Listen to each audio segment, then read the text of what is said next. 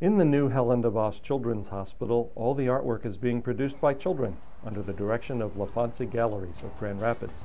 Thousands of kids have been involved already. This is what a typical art making session looks like.